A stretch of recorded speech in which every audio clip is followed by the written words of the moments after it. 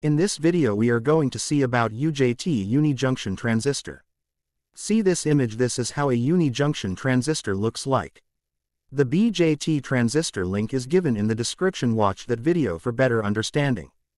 The unijunction transistor is a three-lead electronic semiconductor device with only one junction. It acts exclusively as an electrically controlled switch. In the construction of UJT, consists of an N-type silicon semiconductor bar with an electrical on each end. The terminals of these connections are called base terminals B1 and B2. Near to base B2, a PN junction is formed between a P-type emitter and the N-type silicon bar. This is the voltage current characteristics of unijunction transistor.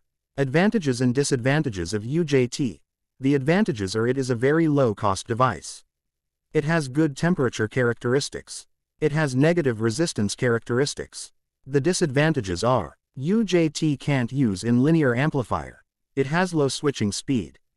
Negative impedance. The applications of UJT are, they are used as switching device, timing circuits, triggering device for TRIAC and SCR, sawtooth generator, and oscillator. Hope you get a understanding about unijunction transistor. For more electronics related video visit our channel. Thank you.